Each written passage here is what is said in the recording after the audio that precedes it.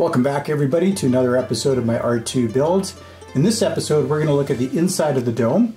I've got all of the panels hooked up to servos and we're going to see how they, they operate the, the panels and as well as the sequences that are controlled with a Maestro microcontroller. I've also powered the whole thing up using 5 volts um, from a buck converter. So let's head over to the dome and check it out.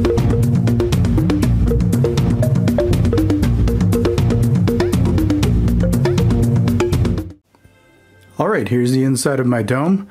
Let's check out these panels and how they operate. It's getting kind of busy in here already with the wiring, but uh, that'll be uh, taken care of shortly once we get uh, everything else installed in here. So let's just take a look at, uh, say, pie panel number one. It's set up. We've got a servo. It's uh, captive studded into the dome. I've got the spring mechanism in, the servo saver, uh, with the arm going to a panel. So that's how it operates. And uh, everything's labeled here. And then it goes to a spool, uh, which takes up the extra um, wiring from each servo. So once you have all the wiring in there, you just have to plug in the wiring that goes to the Maestro. So that way you can replace a servo pretty easily. You just unscrew it from here, um, pop the wiring out of there, and then plug in the new one and wire it up to the Maestro. So that's uh, basically how they all work. And let's just go around and take a look at uh, all of the panels. So we've got pie panel number one right here. Then we have pie panel two. Three is the holo projector, so there's nothing there. Then there's four, five, and six. And then as far as the dome panels go, we've got three in a row here, one, two, and three. These are all the medium mounts, and these ones are all identical. And then over here we have panel number four. It's a little bit larger. So this is called a large panel A. And that's how that operates. Obviously none of these have the, the, the fronts on them yet because I don't have the outer dome on. And then we have panel seven is a little bit larger than that. So that's large B. And then way over here, we have uh, pie panel number 10. It's the biggest one and it is um, large C. And then over here we have a couple smaller ones. This is the small hinge and it's on panel number 11. And then over here was supposed to be the smallest, but um, because of my setup with my servo spools and my radar eye electronics that are going to go in there, the smallest wouldn't fit properly, so I just made another small one. So these two are identical, but I extended the arm for this a little bit longer so that everything can fit in here properly. So that's how they're all mounted in. They all seem to be working. They've all been adjusted, uh, and then I ran through a few sequences with my Maestro to make sure that the minimum and maximum settings were all done for these panels so far. I'll probably have to tweak that a little bit later on. So this is my Maestro. They've got I've got all the panels connected to it. It's sitting on a 3D printed base that I made that's used that's stuck down using 3M tape. So this is the tape that I used. It works really well and that way I can remove it if I have to. But if I have to take the Maestro out, uh, there's just a screw um, right over here and then one on the other side and uh, I can pop that out if I need to. And uh, these are guides that I'm I've made. I've 3D printed these. They're they're they come in one, two, three, or four. I just designed these up in Fusion.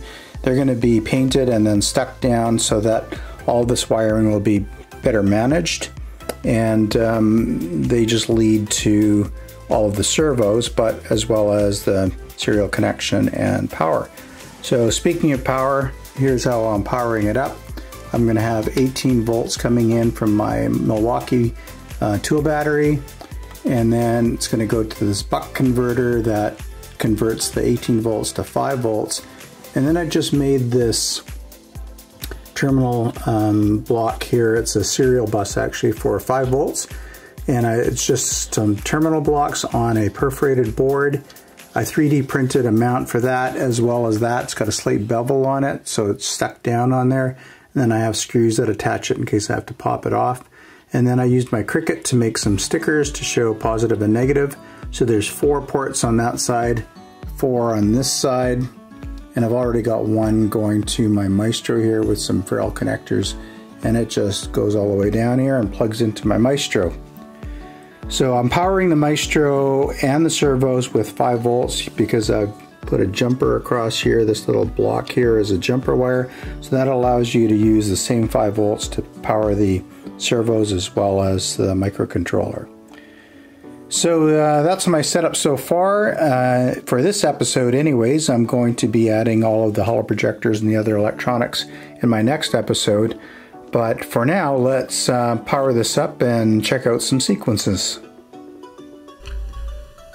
Let's take a look at the Maestro Control Center before we see the panels functioning. I just want to show you my setup so far. I have all of the servos um, labeled here from 0 to 12. I've got um, from 0 to 4 are my pie panels and then the other pa panels are all the way up to 12. So I have room for five more which I'll probably be using uh, eventually. These are the sliders, they're all set to the home positions. These three sliders are in the opposite um, location of these ones because the servo horn comes out on the other side on those ones so that they fit properly in the dome. So that's why they're like that. And I can move these sliders along and uh, open and close my panels when I need to. Let's take a look at the channel settings. So here's where you can input a lot of information. Uh, first you set them all to servos, uh, then you can set their minimum and maximum positions, which I'll eventually do um, to make sure that they stay within that range, never um, leave that. I did activate the go to, so the go to means that when the Maestro is turned on, all of the servos will go to whatever you tell it to right here. So I've already set that up. These are basically their home positions. And then I came up with three sequences uh, that will just demonstrate the panel movements. So this one here just opens the first panel, then the second, then the third, then the fourth, all the way up to the last one, and then they all close in like manner. Then for sequence two, very easy. They just all open at the same time, and then they all close. And that's a good way to kind of test see how much current you're drawing as well. So I had them open, check my current draw, and then they all close. So I kind of know if I have the right kind of buck converter. And then uh, sequence two will open and close the first one, open and close the second one, and so on and so on, all the way up to the last one. So what we're going to do now is uh, head over to the dome and watch these three sequences in operation.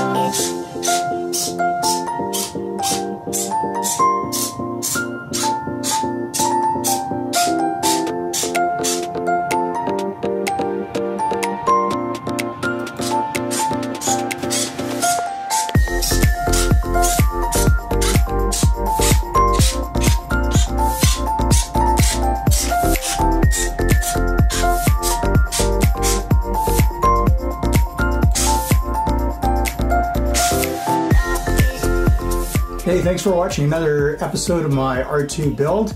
It's been a while, but it's slowly coming together. Uh, remember, you don't have to create things the way I've done it or other people have done it. I couldn't have finished what I've done so far without all the help of a lot of people. Sometimes I venture off and I make my own parts and my own designs. I'm doing more and more of that lately. And I know you can probably do that too, so trust yourself. Uh, have fun with it. And uh, God bless you. Stick around for our thought for today. We'll see you real soon.